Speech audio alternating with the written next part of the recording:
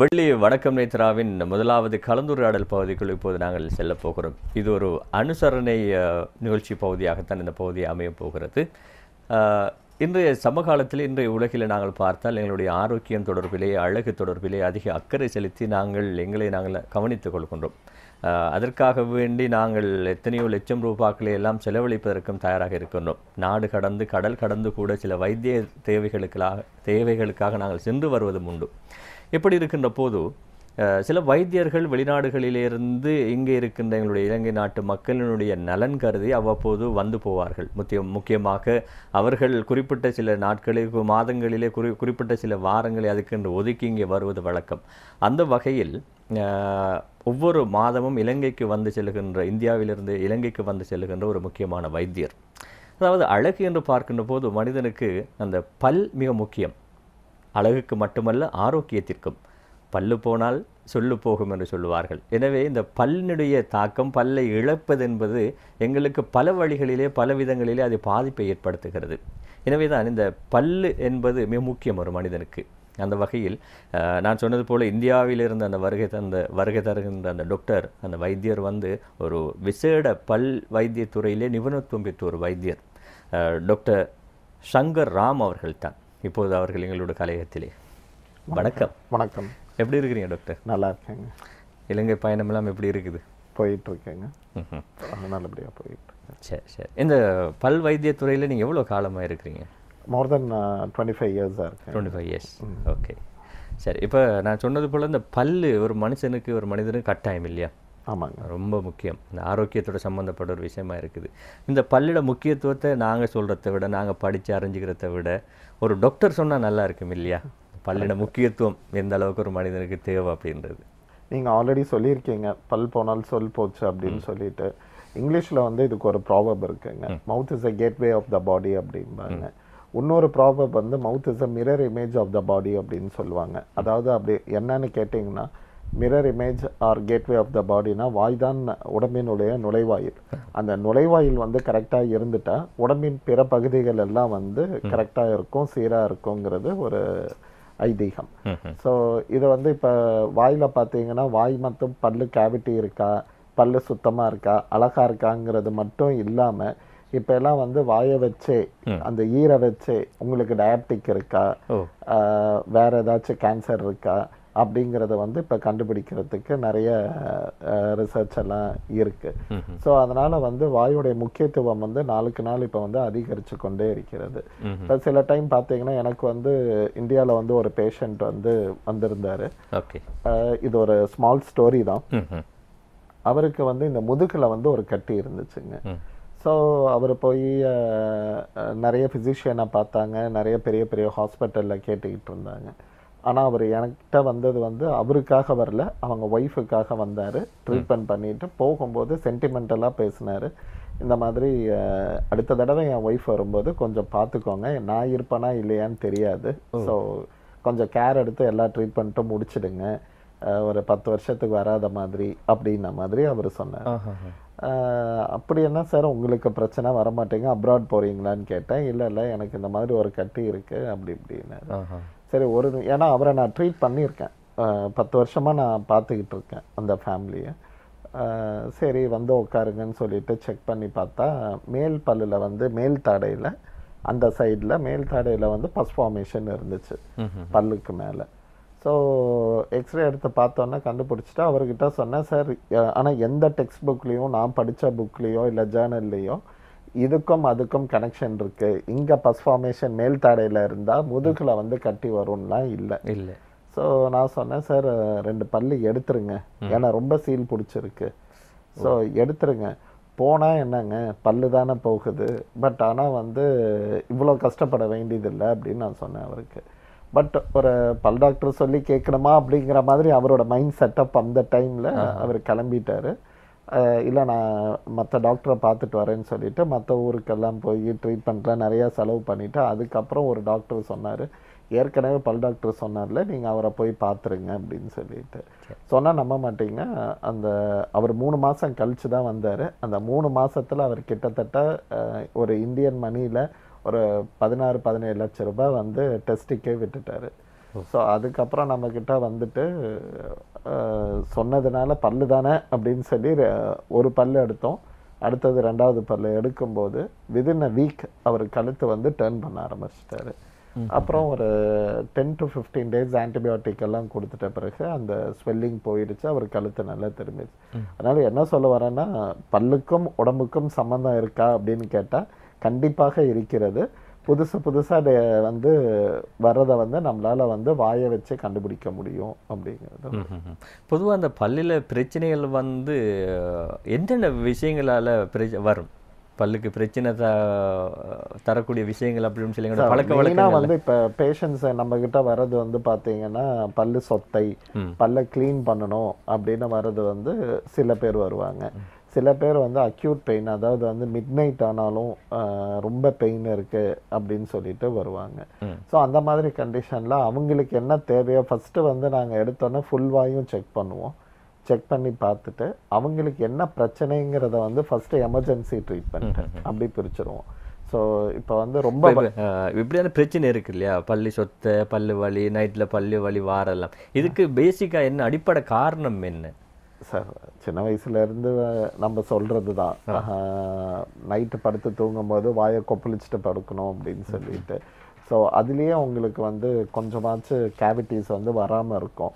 ரெண்டாவது விஷயம் பார்த்தீங்கன்னா இப்போ பதினெட்டுல இருந்து இருபத்தஞ்சு வயசுக்குள்ள சில பேருக்கு வந்து காதுல இருந்து வலி வரும் அப்படிம்பாங்க. அது என்னன்னு பார்த்தீங்கன்னா விஸ்டம் டூத் வரும். அது வந்து பதினெட்டு வயசுல இருந்து இருபத்தஞ்சு வயசுக்குள்ள இருக்கிற பசங்களுக்கு விஸ்டம் டூத் அது வந்து கோணல் மாணலா வரும். இப்போ இந்த ரூம்ல வந்து ஒரு இருபது பேர் இருக்கலாம்னா கம்ஃபர்டபுளா இருபது பேர் இருக்கலாம். பட் நம்ம வாயில முப்பத்தி ரெண்டு பல்லு இருக்கும். அந்த முப்பத்தி ரெண்டு பல்லு இருபத்தி எட்டு பல்லு வந்து பன்னெண்டு வயசுக்குள்ளேயே வளர்ந்து முடிஞ்சிடும். மிச்சம் நாலு பல்லு வந்து பதினெட்டு வயசுக்கு மேலே தான் வளரும். ஸோ அது வளர்றப்ப வந்து கோணல் மாணலாக கொஞ்சம் வளர்றதுக்கு சான்சஸ் இருக்கு. நம்மளுடைய தாடை இடம் இல்லாமல் இருந்துச்சுன்னா அது எப்படி வேணாலும் வரும். ஸோ அந்த டைமில் அருகில் உள்ள பல் மருத்துவரிடம் போய் சென்று அதை எக்ஸ்ரே கரெக்டாக பார்த்துட்டு அந்த பல்லு கரெக்டாக இருந்துச்சுன்னா ஓகே இல்லை சேவ் பண்ண முடியாதுன்னா எடுக்கிறது பெட்டர் இந்த மாதிரி கண்டிஷன்ஸ் வரும். இன்னொன்று வந்து ப கொஞ்சம் வயதானவர்கள் இல்லை முப்பது முப்பத்தஞ்சு வயசுல எல்லாம் பல்லு சொத்தையாகி எதுக்கு பல் டாக்டர் கிட்ட போய் ட்ரீட்மெண்ட் பண்ணணும்? காசு செலவாயிடுமே அப்படின்னு சொல்லிட்டு அப்படியே விட விட விட அது பெருசாகி வேர் வைத்தியம் இல்லாட்டி பல்லு எடுக்கிற நிலைமைக்கு போயிடும். எப்பயுமே ஒண்ணுங்க சின்ன மேட்டர் வந்து சின்னதா பல்லு சொத்தைன்னு நீங்க பார்த்தீங்கன்னா உங்களுக்கு வந்து செலவாகிறதும் கொஞ்சம் கம்மியா தான் ஆகும் அது அப்புறம் பார்த்துக்கலாம் அப்புறம் பார்த்துக்கலாம்னு விட விட அதுவும் பெருசாகிட்டே போகும் பில்லும் பெருசாகிட்டே போகும் கஷ்டமும் பெருசாகிட்டே போகும். பிரச்சனைகளும் பெருசாயிட்டே போகும். ஆமா. சரி இப்போ இந்த பல்லு சொத்து சரி இப்போ பல்லை சுத்தப்படுத்துற விஷயங்கள் வந்து இருக்குதானே இப்போ சில பேர் வந்து அதை கிழமைக்கு ஒருக்கா செய்வாங்க இல்லாட்டி மாசத்துக்கு ஒருக்கா செய்வாங்க இல்லாட்டி சில பேர் வருஷத்துக்கு ஒருக்கா செய்வாங்க. அதுல சரியான நடைமுறை என்ன? எப்போ எந்த எந்த காலம் விட்டு எவ்வளவு காலத்துக்குள்ள செய்யணும்? அதுல வந்திருக்கிற புதிய விஷயங்கள். அதாவது பல் வந்து க்ளீன் பண்றதுங்கிறது பார்த்தீங்கன்னா சிக்ஸ் மந்த்ஸ் இஸ் மேண்டேட்ரி. அதாவது ஒரு நாற்பது வயசு நாற்பத்தஞ்சு வயசுக்கு மேலே இருக்கிறவங்க ஆறு மாசத்துக்கு ஒரு தடவை பல் சுத்தப்படுத்திக்கிறது. பல அருகில் உள்ள பல் மருத்துவரிடம் சென்று பல்லெல்லாம் சீரா இருக்கா சிறப்பா இருக்கா அப்படின்னு பார்த்துக்கிறது ரொம்ப ரொம்ப நல்லதுங்க. ஏன்னா அவங்களுக்கு வந்து இந்த ஹைப்பர் டென்ஷன் டயபெட்டிக் எல்லாம் இந்த முப்பத்தஞ்சு நாற்பது வயசுல இருந்தே இப்போ ஸ்டார்ட் ஆயிடுது. ஸோ அதனால் வந்து பார்த்துக்கிறது ரொம்ப ரொம்ப நல்லது. பட் அதுக்கு கீழே இருக்கிறவங்க வந்து யூஸ்வலாக ஜென்ரலாக பிறந்ததுல இருந்தே கே இது நம்ம காலம் முடியிற வரைக்கும் காலையில் ஒரு தடவை ராத்திரி ஒரு தடவை ப்ரஷ் பண்ணுறது ரொம்ப ரொம்ப நல்லது. இதில் நாற்பத்தஞ்சு வயசு ஐம்பது ஐம்பத்தஞ்சு வயசுக்கு மேலே இருக்கிறவங்க கிட்ட என்கிட்ட வர பேஷண்ட்ஸ் கிட்ட நான் என்ன அட்வைஸ் பண்ணுவேன்னா காலையில் பண்ணுங்க ராத்திரி வந்து கையில் பண்ணுங்க கார்கிள் பண்ணிட்டு படுங்க அப்படின்னு. ஆ நைட்ல ப்ரெஷ்ஷால பண்ண தேவை இல்ல இல்ல ப்ரஷ் பண்ணா ரொம்ப நல்லதுங்க. அதுக்கான காரணத்தை நான் ஏன் நான் அப்படி சொல்றேன் அப்படின்னு பார்த்தீங்கன்னா இப்போ ஜென்ரலாக பார்த்தீங்கன்னா நம்ம ஒருத்தர் வந்து ப்ரஷ் பண்ணுவோம். கண்ணாடியை பார்த்து ப்ரஷ் பண்ணுறப்ப பார்த்தீங்கன்னா ரொம்ப கான்சென்ட்ரேட் பண்ணி ஃப்ரண்ட் டூத்தில் பண்ணுவோம். பேக் சைடு போகும்போது நம்மளோட ஆர்ம் ஃபோர்ஸு ரிஸ்ட் ஃபோர்ஸு ரொம்ப ஜாஸ்தியாக இருக்கும். ஸோ அந்த டைமில் நம்மளோட கான்சென்ட்ரேஷன் வந்து டிவேட் ஆகிடும் இன்னைக்கு வந்து இந்த வேலை செய்யணும் இன்னைக்கு இந்த பேங்க்குக்கு போகணும் அப்படிங்கிற இல்லை லேடிஸ் எடுத்துக்கிட்டா சமையல் செய்யணும் இந்த சமையல் செய்யலாமா இல்லை ஈவினிங் வெளியில் போகலாமா ஷாப்பிங் போகலாமாங்கிற கான்சென்ட்ரேஷன் வந்து பேக் சைடு போகும்போது ஆட்டோமேட்டிக்காக ஷிஃப்ட் ஆகிடும் ஸோ அந்த டைமில் பார்த்தீங்கன்னா ஃபோர்ஸ் ஆஃப் ஆக்ஷன் வந்து ரொம்ப ஜாஸ்தியாக இருக்கும். லுக் ஆஸ் தோ வந்து நம்ம வந்து ரொம்ப நேரம் பண்ணுற மாதிரி க்ளீனாக பண்ணுற மாதிரி இருக்கும். பட் ரொம்ப நேரம் பண்ணும்போது என்ன ஆகும்னா எனாமல் போயிடும். ஸோ ஒரு three minutes to four minutes அதுக்கு மேலே வந்து பண்ணுறது வந்து ப்ரஷ் பண்ணுறது வந்து நாட் ஐடியல் ரொம்ப நேரம் ப்ரஷ் பண்ணால் நம்ம ஷர்ட்டோட காலர் மாதிரி த்ரெட் த்ரெட்டாக வெளில வர மாதிரி எனாமல் போயிடும். ஒன்ஸ் எனாமல் போச்சுன்னா பல்லு கூச ஆரம்பிச்சிடும். பல்லு கூச ஆரம்பிச்சதுன்னா நம்ம காஃபி குடிக்கிற முடியாது ஒரு கூல்ட்ரிங்க் குடிக்க முடியாது ரூம் டெம்பரேச்சரில் இருக்க வாட்டர் கூட சில டைம் குடிக்க முடியாது. ஸோ அதனால அது சேஞ்சஸ் ஆகிறது அதில் அந்த டூத் பேஸ்ட் எடுக்கிற அளவும் இருக்குதா டாக்டர் எந்த அளவு எடுக்கணும்? டூத் பேஸ்ட் கொஞ்சோண்டு எடுத்தா போதும் சார் பட் ஆனா வந்து நம்ம ப்ரஷ் பண்ற முறைகள் வந்து கண்ணாடியை பார்த்துட்டு பண்றப்ப எப்படி முன்னாடி பல்லு வந்து அதனால தான் அவ்வளோ சீக்கிரமா சொத்தையாகாது பின்னாடி பல்ல பார்த்தா கூச ஆரம்பிச்சிடும் ஒரு ஸ்வீட் சாப்பிட முடியாது அதனால என்ன பிரயோஜனம் ரொம்ப நேரம் ப்ரஷ் பண்றதும் கூடாது ஸோ வைசா வைசா வைசா வைசா வைசா வைசா வைசா வைசா வைசா வைசா வைசா வைசா வைசா ப்ரஷோட இப்போ நீங்கள் கேட்ட மாதிரி டூத் பேஸ்டோட அளவு இல்லை ப்ரஷோடைய பிரிசில்ஸோட இது வந்து சாஃப்ட் மீடியம் ஹார்டுன்னு இருக்கு வயசானவங்களுக்கு அல்ட்ரா சாஃப்ட்னு இருக்கு. ஸோ பண்றப்பயே அவங்களுக்கு வந்து ரொம்ப ஹார்ட் ப்ரஷ் யூஸ் பண்ணோம்னா வந்து எனாமல் ரொம்ப போயிடும் ரொம்ப தேஞ்சிருச்சுன்னா பல்லு கூச்சமாயிடும்.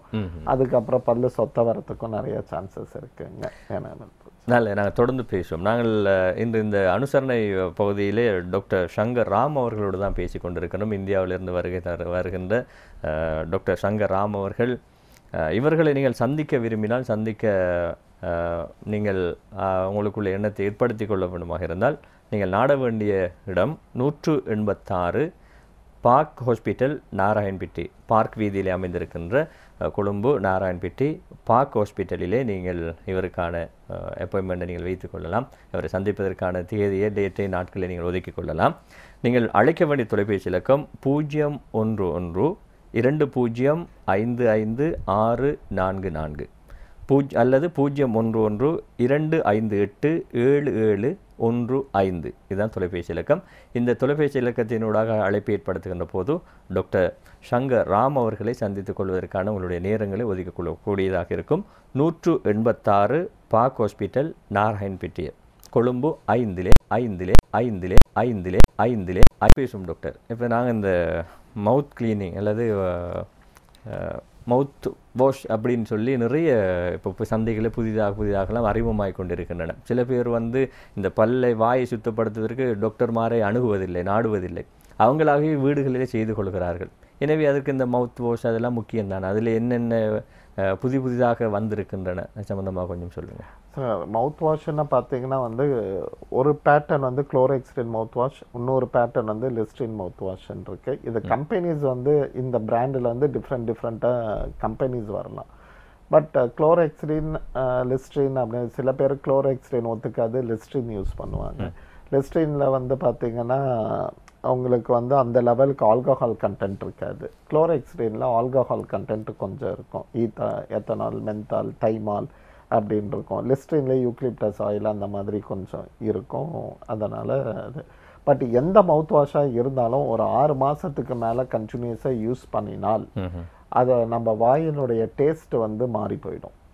டேஸ்ட் பட்டுன்னு சொல்லுவோம். நாக்குடைய நாக்குடைய நாக்குடைய நாக்குடைய நாக்குடைய நாக்குடைய நாக்குடைய நாக்குடைய. ஏன்னா ஆல்கஹால் இந்த இதெல்லாம் யூக்லிப்டஸ் இதெல்லாம் கெமிக்கல் இருக்கிறதுனால டேஸ்ட் மாறிடும். இன்னொரு சைடு எஃபெக்ட் என்னன்னு பார்த்தீங்கன்னா கலர் ஆஃப் அ டூத் வந்து சேஞ்சஸ் ஆகிறதுக்கு நிறைய சான்சஸ் இருக்குங்க. ஸோ நம்மளுடைய டூத் கலரும் மாறுறதுக்கு நிறைய சான்சஸ் இருக்கு. ஸோ என்ன கேட்டிங்கன்னா கல் உப்பு போட்டு வெது வெதுப்பான தண்ணியில் கல் உப்பு போட்டு கொஞ்சம் வாயில் கார்கிள் பண்ணாலே இருக்கிற அழுக்கு எல்லாமே வந்துடும் அது டிசால்வ் ஆயிட்ட பிறகு கல் அப்படியே கல் உப்பு கல் வந்து அப்படியே வச்சு பண்ணால் எனாமல் போயிடும். கல் உப்பு டிசால்வ் ஆயிட்ட பிறகு தண்ணியில் வந்து வாயை உப்பு தண்ணி போட்டு கார்கிள் பண்ணுனா உள்ளுக்குள்ளே இருக்க கிருமிகள் எல்லாம் வந்துடும் அது வந்து ஒரு ரெண்டு மூணு தடவை கூட ஒரு நாளைக்கு பண்ணலாம். சாப்பிட்டதுக்கு அப்புறம் பண்ணுறது ரொம்ப நல்லது. சாப்பிட்டதுக்கு அப்புறம் நம்ம வந்து எந்த ஒரு கல்யாணத்துக்கு போனாலோ வேறு பர்த்டே பார்ட்டி போனாலோ நம்ம சாப்பிட்டதுக்கு அப்புறம் இந்த இண்டெக்ஸ் ஃபிங்கரை எடுத்து ஈரை நல்லா மசாஜ் பண்ணி விட்டீங்கன்னாலே நம்மளுடைய பாதி பிரச்சனைகள் வந்து சால்வ் ஆகிடுங்க சரி கார்கிள் பண்ணி ம்ஹும். இப்படி நாங்கள் எங்களுடைய எங்களுடைய பற்களை வாயை வந்து பராமரிச்சுட்டு வந்தாலும் அந்த பல்லு வலின்றது வந்து சில பேருக்கு அடிக்கடி வரும். சில பேருக்கு எந்த நேரமும் தொல்லையாக இருக்கும் இந்த பல்லு வலி. இந்த சில பேருக்கு நைட் டைமில் வர இரவு முழுக்க தூங்க இல்லாத அளவுக்குலாம் பண்ணிடும் ரொம்ப காலை வரைக்கும் வலிச்சிக்கிட்டே இருக்கு ஆனால் காலையில் ஓரளவுக்கு நோமல் ஆகும். இந்த பல்லு வலிகளில் என்னென்ன முறைகள் என்னென்ன விதமான பல்லு வலிகள் இருக்குன்னு ஏன் நைட் டைம்லலாம் அதிகம் ரொம்ப தொல்லை தருது டாக்டர் சரி ஜென்ரலாக ஃபஸ்ட்டு வந்து நம்ம பல்லை பற்றி புரிஞ்சுக்கணுங்க. பல்லுங்கிறது வந்து நம்ம இப்போ நம்ம மனுஷங்கள் உட்காந்துருக்கிற மாதிரி தான் எனாமல் அப்படிங்கிறது பார்த்தீங்கன்னா இப்போ நம்ம வந்து ஷர்ட்டோட ஷர்ட் மாதிரி. ஷர்ட் அழகா இருக்கா? பாலிஷ்டாக இருக்கா? அது வந்து எனாமல் அதே மாதிரி ஷைன் அடிக்கும். நல்லா அழகா இருக்கும். கலர் வந்து நல்லா அழகா இருக்கும். அதுதான் எனாமல். டென்டினங் டென்டினங் டென்டினங் டென்டினங் டென்டினங் டென்டினங் டென்டினங் டென்டினங் டென்டினங் டென்டினங் டென்டி ஆகாரம் சாப்பிட்டாலும் ஜிவ்வுன்னு இருக்கும்.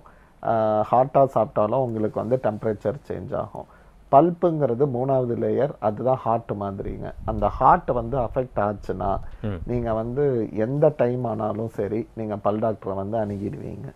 ஏன்னா அது பல்ப்புங்கிற லேயருக்கு வந்து அந்த பல் சொத்தை போய் விட்டது அப்படி என்றால் நீங்கள் வந்து உங்களால் நிம்மதியாக உங்களால் வீட்டில் படுக்கவோ இல்லை தூங்கவோ முடியவே முடியாது. ஏன்னா படுக்கும்போது பிளட் சர்க்குலேஷன் பல்லுக்கு போகும். கீழே இருந்து மேலே வரைக்கும் போகிறதுனால நைட் டைம் தான் அதிகமான பேருக்கு பல்லு வலி அதிகமாக ஸ்டார்ட் ஆகுங்க. ஸோ அந்த டைமில் வந்து நம்மளால் வந்து வேர் வைத்தியம் பண்ணிக்கலாமா? இல்லை பல்லை எடுத்துக்கலாமா? அப்படிங்கிறது மருத்துவர் தான் வந்து டிசைட் பண்ணி சொல்லுவாருங்க இப்போ பல்லு வலி வந்து பல்லு பிரச்சனை தர ஆரம்பிச்சா நாங்கள் அந்த பல்லை கட்டாயமாக ரிமூவ் பண்ணத்தான் வேணுமா? கலட்டத்தான் வேணுமா? இல்லாட்டி அதுக்கு வேற மாற்று வழிகள் என்னென்ன அதுதான் நான் சொல்லியிருக்கேன் இல்லைங்களா? வேர் வைத்தியம் அப்படின்னு சொல்லுவாங்க. அது இப்போ எப்படி வந்து நம்மளுக்கு வந்து ஹார்ட் அட்டாக் வந்துருச்சுன்னா பைபாஸ் சர்ஜரி பண்ணுற மாதிரி அதுக்காக வந்து அஹ், அவ்வளவுதான் அப்படின்னு விட போறது இல்லையே ஸோ ஆனால் இது பல்லு. அதனால வந்து நம்ம வந்து காப்பாற்றணும்னு நினைச்சா அந்த பல்லை வந்து எடுக்காம நம்ம காப்பாத்திக்கலாம். ஒழுங்கான முறையில வேர் வைத்தியம் பண்ணினா அந்த பல்லை வந்து நிச்சயமா வந்து காப்பாத்தி அதுக்கு கவர் போட்டு அதை ப்ரொடெக்ட் பண்ணிட்டா அது வந்து வருங்க.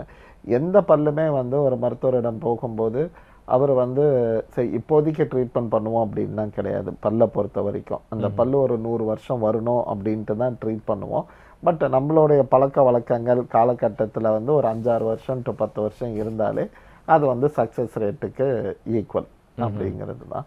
சரி சப்போஸ் பல்லு எடுத்துட்டோம் அப்படின்னு பார்த்தீங்கன்னா உங்களுக்கு வந்து நிறைய செயற்கை முறையில் வந்து பல்லுக்கு ஈக்குவலாக வைக்கிறதுக்கு நிறைய விதிகள் இருக்குது செயற்கை பல் வந்து நிறைய இருக்குது அதில் தான் நான் ஸ்பெஷலைஸ்டு ஸோ அந்த மாதிரி இதில் வந்து நிறைய டெக்னிக் டெக்னாலஜி எல்லாம் இப்போ லேட்டஸ்ட்டாக வந்திருக்கு.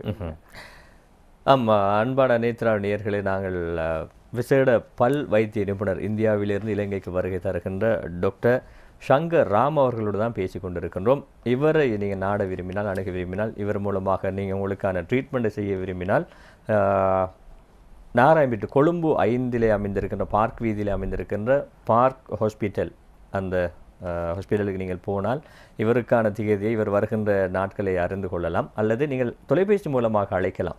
உங்களுக்கான அந்த அழைப்பதற்கான தொலைபேசி இலக்கம் இதோ பூஜ்ஜியம் ஒன்று ஒன்று இரண்டு பூஜ்ஜியம் ஐந்து ஐந்து ஆறு நான்கு நான்கு அல்லது பூஜ்ஜியம் ஒன்று ஒன்று இரண்டு ஐந்து எட்டு ஏழு ஏழு ஒன்று ஐந்து. இந்த தொலைபேசி இலக்கத்திற்கு நீங்கள் தொலை அழைப்பை ஏற்படுத்துகின்ற போது டாக்டர் சங்கர் ராம் அவர்களை சந்திப்பதற்கான உங்களுக்கான திகதியை ஒதுக்கிக் கொள்ளக்கூடியதாக இருக்கும். இது எங்கே அமைந்திருக்கிறது என்று சொன்னால் கொழும்பு ஐந்து பார்க் வீதியில் இருக்கின்றது. பார்க் ஹாஸ்பிட்டல் நாராயண்பேட்டையில் இலக்கம் நூற்று எண்பத்தாறு. சரி. டாக்டர் இப்போ பல்லு வலி வந்தால் பல்ல அதை என்ன செய்யணும்? அப்படின்னு சொல்லி நீங்கள் முடிவு எடுப்பீங்க. பல்ல ரிமூவ் பண்ணுறது அது வேறு வைத்தியமா அப்படின்னு சொல்லி இது தவிர பற்களுக்கு இன்னும் ஒரு பிரச்சனை வாரது வந்து அந்த அழகை கொஞ்சம் குறைக்கும் வகையில் பற்கள் வந்து முன்னுக்கு தள்ளின மாதிரி நிலைமையெல்லாம் வரும். ரொம்ப சின்ன வயசில் சின்ன பிள்ளைகளுக்கெல்லாம் கூட வரும். அதனால் அந்த கிளிப் போடுற சிஸ்டம்லாம் இருக்குது அந்த சிஸ்டம் இருக்குது. அதே போல் பற்களை ரிமூவ் பண்ணிவிட்டு கிளிப் சிஸ்டத்தில் பல்லு போடுற சிஸ்டங்களும் இருக்குது. இதில் பற்றி கொஞ்சம் சொல்லுங்கள் சார் நான் ஆல்ரெடி சொன்ன மாதிரி ஒரு ரூமில் வந்து இத்தனை பேர் இருக்கலாம்னா இத்தனை பேர் இருக்கலாம். ஸோ ரொம்ப வந்து ஒரு இருபது பேர் இருக்கிற இடத்துல ஐம்பது பேர் போட்டிங்கன்னா க்ரௌடட் ஆகிடும் ஸோ அந்த க்ரௌடடாக இருக்கும்போது பார்த்தீங்கன்னா நம்ம பல்லை வந்து சரி செய்யணும் அப்படின்னு பார்த்தீங்கன்னா ஏதாச்சும் ஒரு ஒரு பல்லை எடுத்தால்தான் இந்த அந்த ஸ்பேஸ் கிடைக்கும் போது தான் நம்ம வரிசைப்படுத்த முடியும். க்ரௌடடாக இருக்கும்போது நம்ம பண்ண முடியாது. ஸோ அந்த மாதிரி கட்டத்தில் தான் நம்ம வந்து பல்லை எடுத்துட்டு நம்ம பண்ணுவோம். அதுவும் பின்னாடி இருக்கிற பல்லு தான். அது முன்னாடி இருக்கிற பல்லு யாரும் எடுக்க மாட்டாங்க. ஸோ பின்னாடி இருக்கிற பல்லை எடுத்துட்டா அந்த அழகு வந்து குறையாம கரெக்டாக இருக்கும். இது ஒரு வே ஆஃப் ட்ரீட்மெண்ட்டுங்க இப்போ கிளிப்லேயே பார்த்தீங்கன்னா இப்போ லேட்டஸ்ட்டாக பார்த்தீங்கன்னா நான் இப்போ இந்தியாவிலேருந்து எடுத்துகிட்டு வர்றது பார்த்தீங்கன்னா இன்வாசிலின் மிஷின்லாம் எடுத்துகிட்டு வரேன். ஸ்கேனர் அப்படிம்பாங்க. இப்போ உங்களுடைய முன்னாடியெல்லாம் பல்லு வந்து மாவு வச்சு அளவு எடுப்பாங்க. பட் நாங்கள் வந்து டிஜிட்டல் முறையில் வந்து ஸ்கேனிங் சிஸ்டம் பண்ணி விடுறோம். ஸோ ஸ்கேனிங் பண்ணிட்டு அது உடனே வந்து ரெப்ளிகா ஆகி அது உடனே வந்து பல்லு செய்ய இது கிளிப்பு போடுற மாதிரி ஒரு சாஃப்ட்வேர் இருக்குங்க. ஸோ உடனே வந்து கிளிப்பு வந்து நாங்கள் வந்து கொடுத்துருவோம். கிளிப்புனா இந்த பட்டன் சிஸ்டம் கிடையாது. இது வந்து ஸ்ப்ளிண்ட் மாதிரி இருக்கும். ஒரு கார்டு மாதிரி இருக்கும். இது வந்து பசங்களுக்கு வந்து குத்தாது இதாகாது. இப்போ டாக்டரை வந்து அணுகணும்னு இல்லை. ஒன் டைம் இன்வெஸ்ட்மெண்ட் மாதிரி. பட் அது பண்ணிட்டா வந்து இப்போ ஃபாரின்ல இருந்து நிறைய பேர் இந்தியாவுக்கு வந்து செஞ்சுக்கிட்டு போகிறாங்க ஏன்னா ஃபாரின்ல ரொம்ப யூஎஸ் யூகேலாம் ரொம்ப எக்ஸ்பென்சிவ்னு சொல்லிட்டு இங்கே வந்துட்டு பண்ணிட்டு போகிறாங்க இதுக்கு பேர் வந்து இன்வாஸ்லின் அலைனஸ் அலைனஸ்ன்னு பேருங்க. இது வந்து லேட்டஸ்ட்டாக இது கிளிப்பே கிடையாது. இது வந்து போட்டாலே போதும். அது வந்து பசங்களே போட்டுக்கலாம். எவ்ரி பதினஞ்சு நாளைக்கு ஒரு தடவை ஒரு செட்டு கொடுத்துருவோம். ஸோ அது கொடுத்துட்ட பிறகு அவங்களுக்கே இவ்வளோ மந்த் டூரேஷன் இதெல்லாம் வந்து டிஜிட்டல் முறையில் ஒரு வருஷம் கழிச்சு நீங்கள் இப்படி இருப்பீங்க அப்படின்னு கூட நாங்கள் காட்டிடுவோம். சரி இது லேட்டஸ்ட் அப்டேட்டாக வந்து. இது தவிர இந்த பல் வைத்தியத்துறையில புதிதாக வந்திருக்கின்ற தொழில்நுட்பம் வைத்திய முறைகள் என்ன வந்திருக்குது? சரி அஸ் யூஷுவலுங்க பல்லில் பொறுத்த வரைக்கும் பல்லு சொத்தைனா நம்ம வேர் வைத்தியம் பண்ணுவோம். பல்லு இல்லாத இடத்துல பார்த்தீங்கன்னா முன்னாடி எல்லாம் பிரிட்ஜ் சிஸ்டம் அதாவது பக்கத்து பல்லு பக்கத்து பல்லை குறைச்சு நம்ம வந்து கவர் போடுவோம். பல்லு இல்லாத இடத்துல. இப்போ பார்த்தீங்கன்னா இம்ப்ளான்ட்டு ஸ்க்ரூ இதெல்லாம் ரொம்ப காமன் ஆயிடுச்சு. இதெல்லாம் நைன்டீன் எயிட்டி ஃபைவ்லேருந்தே இருக்குது இப்போ தான் வந்து இங்கெல்லாம் வந்து கொஞ்சம் டெவலப் ஆகிக்கிட்டு இருக்கு. இம்ப்ளான்ட்டுன்னு மக்கள் வந்து முன்னாடி எல்லாம் ஸ்க்ரூ போடணுமா அப்படின்னு கேட்பாங்க. இப்போ எல்லாம் ஸ்க்ரூ போடுவீங்களான்னு கேட்குறாங்க ஸோ வந்து அவங்க கேட்குற அணுகுமுறையே வந்து இப்போ வந்து அப்டேட் ஆகிட்டு தான் வர்றாங்க. ஸோ இப்போ வந்து முன்னாடி எல்லாம் பார்த்தீங்கன்னா இப்போ ஒரு பல்லு இல்லை அப்படியே ரெண்டு பல்லு இப்போ எடுத்துட்டோம் அப்படின்னா இந்த பல்லையும் இந்த பல்லையும் குறைச்சு நாலு பல்லா பண்ணுவோம். ஒரு ரெண்டு பல்லு எடுத்துட்டா நடுவில். ஸோ இந்த பல்லோடைய ஒரிஜினாலிட்டியும் போயிடும். இந்த பல்லோடைய ஒரிஜினாலிட்டியும் போயிட்டு டம்மி பண்ணிட்டு தான் நாலு பல்லா வரும். இப்போல்லாம் எங்க பல்லு இல்லையோ அந்த இடத்துல வந்து விதின் டென் மினிட்ஸ் இப்போ நான்லாம் பண்றது வந்து பார்த்தீங்கன்னா பிளட்டே வராதுங்க. இது வந்து ஒரு சர்ஜரினே சொல்ல முடியாது.